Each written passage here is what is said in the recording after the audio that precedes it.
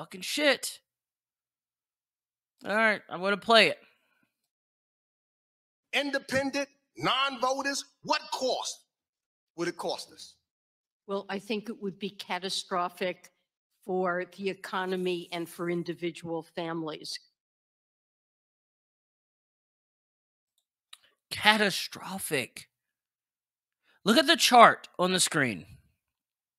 Those great all time highs that we've been used to for the last, let's say, uh, three years. We're making lower lows. Lower lows, not higher highs. Reality's about to set in, and it's going to be a scary reality. It's going to be very fucking scary for a lot of us. But let me let them finish. Nearly 50 million seniors could stop receiving Social Security payments or see them delayed. Our troops would not know when they would get their next paycheck. Social Security is pretty much over. The troops won't be getting paid. What are they fighting for? If the Constitution doesn't mean shit, what are the troops fighting for? Now, I personally believe the Constitution still has rule over this nation, but there's bigger fish that don't believe that. So, what exactly would the soldiers be fighting for? It makes you think, doesn't it? Let's let her finish. We have 30 million families who rely on the monthly child tax credit, and they would not receive that relief, at least on time. And as we saw in 2011, when the debt ceiling um, came with, was raised minute and investor and consumer confidence was shaken in the run up. Um, we saw a marked increase in interest rates, a marked drop in the stock market. And when US interest rates go up and the credit rating of the United States was downgraded, that means higher interest payments for everyone who has a loan, whether it's a small business. Now, understand, understand. Right now, interest rates are at its all time low. All time low. People are getting home loans for two and a half percent interest rates. She's saying that they're going to have to increase this. They're going to have to increase this. If you're barely getting by now, when this happens, you're going to be fucked. And now they want the same woman, Janet Yellen. They want the IRS to be able to look at your bank accounts when you make transactions over $600. Now, as of now, it's $10,000. But when you pay your rent, your mortgage, you pay your bills, shit is over $600, they're going to be in your business. They're going to be watching what you spend your money on, how you spend your money. They're, they're going to read your habits. Uh, they're the mafia. They're the mafia.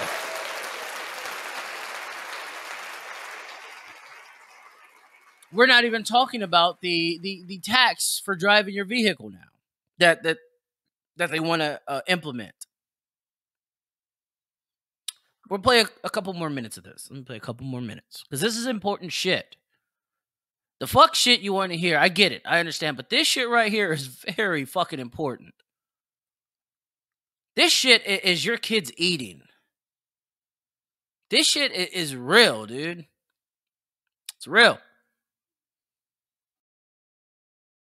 A homeowner with a mortgage, uh, a credit card payment, um, anyone who borrows would see uh, higher interest costs of their debt.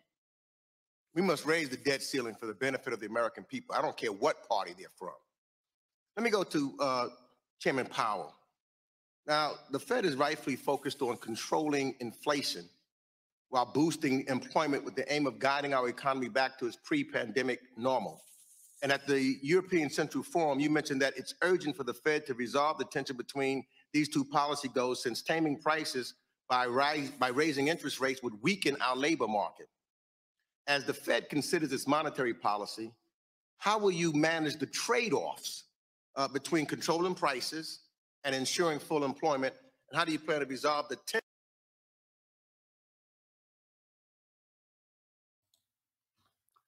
He can't. He can't do shit about it. There's nothing Jerome Powell can do. You understand? Like, like the lady just said, when this happens, interest rates are going to spike. When interest rates spike, unemployment is going to spike. We're we're used in the last year and a half of getting this free money, even though nothing's free. We're used in this last year and a half of not working, of being as lazy as we can be while China's ramping shit up. We're used to it now. You see, all this goddamn COVID talk, and I don't give a damn. I don't give a fuck. I'm going to say the word. I know a lot of YouTube YouTubers do. Oh, the c word. No, fucking COVID. A lot of this COVID talk it, it, it's getting your mind off of the real big issue. Yeah, COVID's a big issue. Should you get your shot? Should you not get the shot? Who knows? Who gives a fuck at this point in time? Right now, we're talking about your livelihoods, your children's future, their present being destroyed. The debt ceiling for the last since 1971, I believe, the debt ceiling has been raised to uncontrollable numbers. Nothing is going to help this but the beginning of the fourth industrial revolution. People don't want to say it now, but the great reset is happening. It's happening. Whether you fucking like it or not, it's fucking happening. Everything will be digi- digitalized, tokenized, up for sale at any given point in time.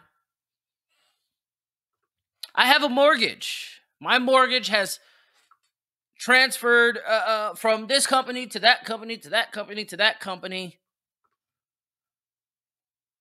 Not because anything I did, just because they sell these contracts. They sell your, your mortgage loan to the next bank, to the next bank, to the next bank.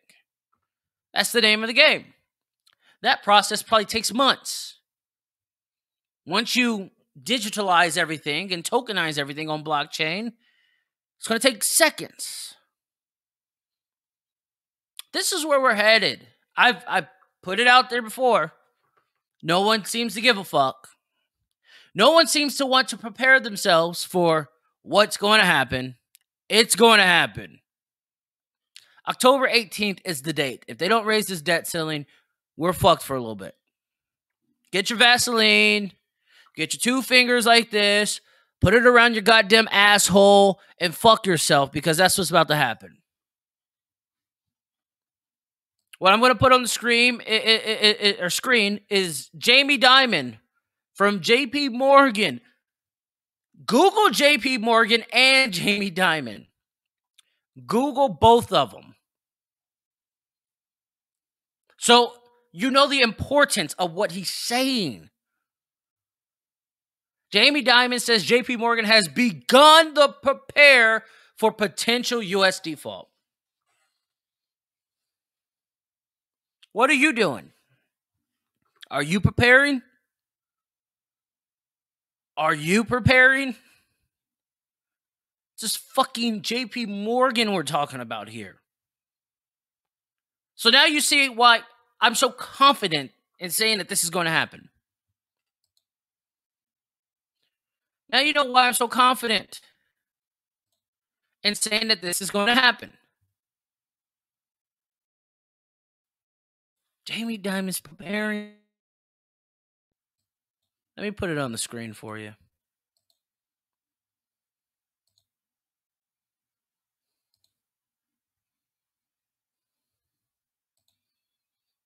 Crazy. It's crazy. No one gives a fuck, huh? I'm telling you, all the dumb shit people hear and this real shit, no one, no one gives a fuck about. U.S. default. No one gives a fuck about it. But watch Jamie Jamie Dimon, uh, Jamie Dimon talk about the U.S. default and how J.P. Morgan is preparing for it.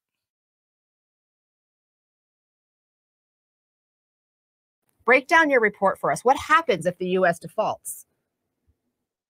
Yeah, that's right, Anna. It would be, of course, unprecedented. Uh, global investors uh, believe, uh, and with good reason, because the, from the beginning of the, the, nation, we've been paying our debt uh, on time. They get their principal, they get their interest on time. So they feel like this debt is risk-free. It's the, the benchmark for, uh, uh, for the entire world. And if that's shaken, if that confidence is shaken, if they don't get paid on time, even briefly, uh, that uh, means that they're going to demand a much higher interest rate to compensate for that risk, and that that uh, is cataclysmic uh, for the entire financial system. So every everything is is based on that premise that they're going to get paid back. If they don't, then stock prices decline, uh, mortgage rates rise. it's going to be difficult for businesses to. Look at that screen. Impact of U.S. default. Moody's Analytics. Wipe out 6 million jobs just like that. Unemployment goes up to about 9%. We know that they're being they're being very uh light on that number. Very light. For something that's never happened to this country and you for you to say that unemployment's only going to go up 9%, you're very mistaken. I'm going to say it's going to easily hit 20%, 30%. Stock market meltdown. And it, it will erase $15 trillion in household wealth. 15 trillion fucking dollars from the common man. Let that shit sink in. This isn't a fucking game. This isn't, this isn't, you know, fuck it. I'm gonna play the rest of the video. I'm gonna play the rest of the video. To raise the cash that they need to, you know, fund their daily operations. The economy will be shaken at, the core. And, you know, I think the, the situation would be so, so bad and so clear that lawmakers would then have no choice but to react. But if they didn't, if they you know persisted and this lasted for say six weeks or so then i think we would lose millions of jobs. Unemployment would go back close to double digits. Uh, the stock market would lose you know 15 trillion dollars worth of value almost a third of its value. It would be it would be i think the word and i used it is cataclysmic. You paint sort of a, a doomsday scenario but you also say so far this isn't impacting you see how she smiles when they say that? Oh, you, you paint a doomsday scenario. it's fucking funny to them because they're rich. They'll they're always gonna be rich. They have the greatest financial advisors. They have a fucking network behind them that's a part of this big game. They have tools. You, you, you they have all kind of shit that we couldn't fathom having as a common man, woman, whatever the fuck you want to call yourself. We couldn't fathom having. They laugh at shit like this. So the father of three, as a homeowner, I have to be super fucking stressed out about this. I have to be the one who's going to fucking uh, uh, go out there and get it to extreme measures. I'm gonna have to go fucking make it happen in ways I I never wanted to go back to. But I'm I'm gonna be that guy. I gotta go make it happen. You guys don't understand what's about to fucking happen, dude. This is not a fucking joke. Serious. I've warned you guys over and over and over and over. No, no, no one gives a fuck about a debt ceiling. This is America, the land of fuckery the land of fuck nuts, the land of people who want to get high and fuck all day. This is America. No one gives a fuck about a debt ceiling. The millennials, me, we're we're used to debt ceilings. We're used to it. Our whole lives it's been a debt ceiling. We're used to this incredible tab of debt that we have in America. We're used to it.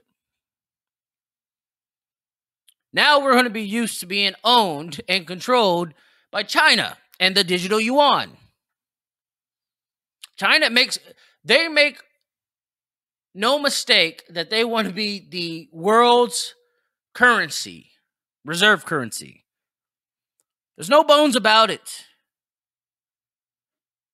The US is lagging behind on purpose. It's so fucking easy to see. Since 1971, they they lift the goddamn debt ceiling up by billions upon billions upon billions, now trillions of dollars. And all of a sudden, we're not going to do it. All of a fucking sudden, they're not going to do it. They're crashing this thing on purpose. What are you doing to prepare? This is easy to fucking see. That's what makes it scary. They're not even hiding it anymore. You just gotta catch it. You just gotta catch it. They don't hide it. You just have to catch it. This hits the news stations. They're not gonna repeat it for you. But you got to catch it. You got to keep your eye on the goddamn prize. Let me finish this shit.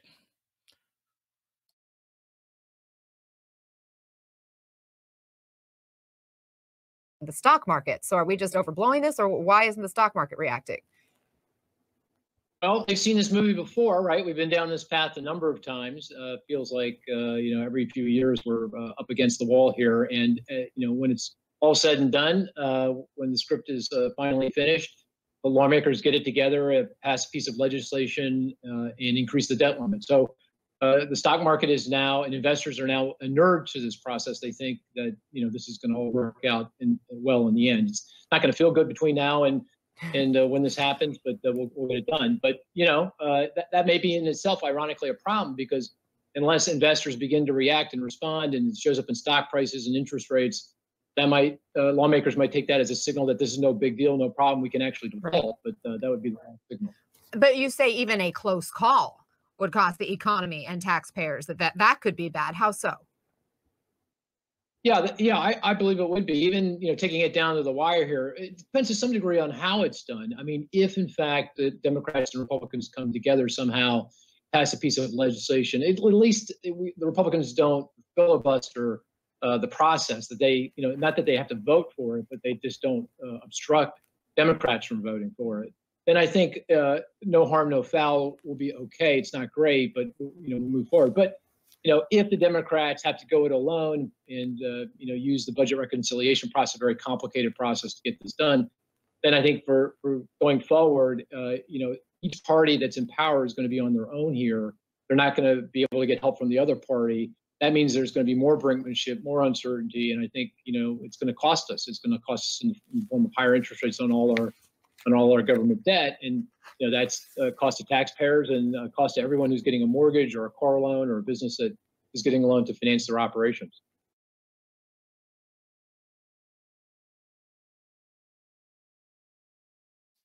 Hi, it's Harry. That's right, your favorite CNN data guy. I hope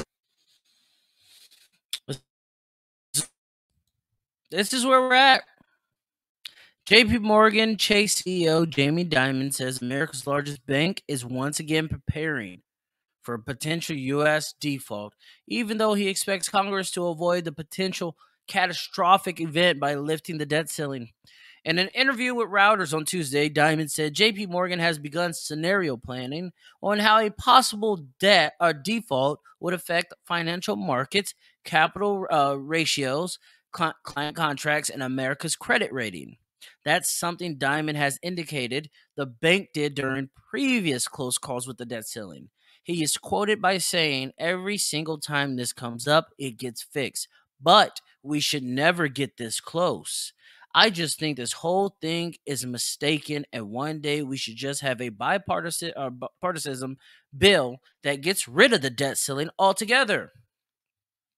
That's what he says. That's what he says. Do you see the change? If you YouTube that video that I just played, the whole interview, he he actually says it. But on CNN, they cut it off. This is what I'm saying. This goddamn agenda. It's so fucking obvious. It's extremely obvious. Oh, eh, Stevie Wonder sees this shit. Prepare yourselves to the best of your abilities, the best of your knowledge. Prepare yourselves. Get your money out of the bank. I know I sound fucking crazy. But in that fucking bank, it's not your money. It's not your money. That sounds crazy. And I I don't do that just normally. But in that bank, if banks start defaulting on their loans, they're going to pull from your goddamn accounts. Your money is their money in that bank. You understand what I'm saying? Like this shit is this shit is about to be biblical, dude. And no one in America seems to give a fuck. Really, eh, eh, the majority seems not to give a fuck. Seems like something that they've been over before and over again and over again. It's just something that happens. Just something that fucking happens. Free Britney, right? Free Britney, yeah. Free Britney. I've been hedging my money. That's for sure. It's not your keys. It's not your crypto. oh, I've been buying all kind of shit, hedging my shit. I don't give a fuck. It is what it is.